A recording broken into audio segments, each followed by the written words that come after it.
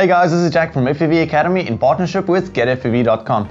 Today we're going to have a closer look at the Lumenier 30 amp 4-in-1 BL Heli S ESC.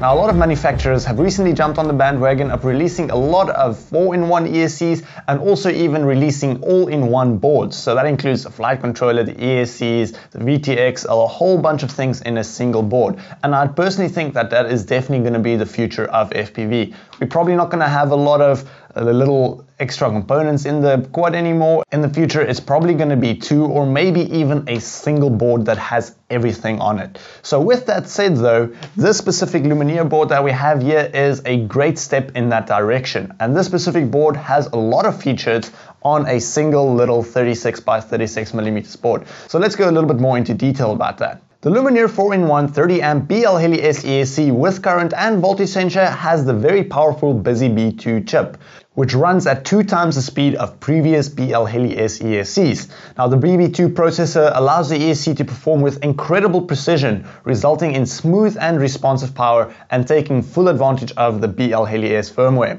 Now this specific 4-in-1 ESC does have a very low profile, which does make it great for those very tight builds. These ESCs are also opto, so it means that it has no BEC, and it comes with motor, signal and power wires for your convenience.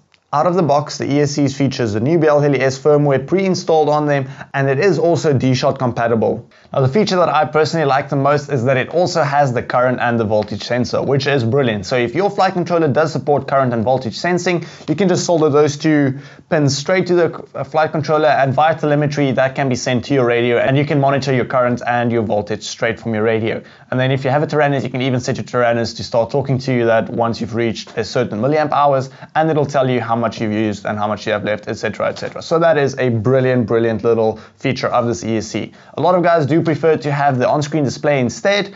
I'm one of those guys, but I do think if you don't want to have those numbers and figures on the screen, if that might distract you, then this is definitely the way to go. Now, all in all, this is definitely a great ESC if you are considering to get a 4-in-1. The price is also really competitive, coming in at $50 at the time of making this video. Maybe in the future it'll be on a sale and might even be cheaper, but at $50 it works out to about $12.50 per ESC, which is a great price for it. Now, if you are interested in purchasing this ESC or if you just want to read a little bit more, this is available at the getfpv.com website. I'll leave a link in the description below if you do want to check it out. Thank you guys so much for watching this video and we'll catch you in the next one.